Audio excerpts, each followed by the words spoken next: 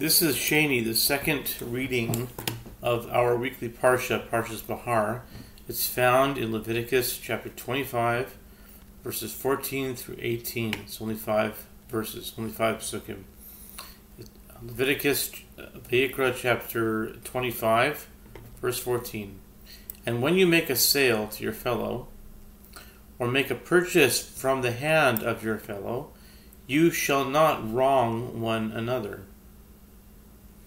According to the number of years after Jubilee, you shall purchase from your fellow. According to the number of years of crops, he shall sell to you. The more the remaining years, you shall increase its purchase price, and the fewer the remaining years, you shall decrease its purchase price, because he is selling you a number of crops.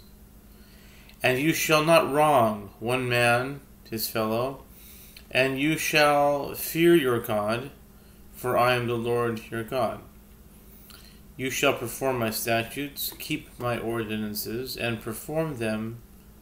Then you will live on the land securely.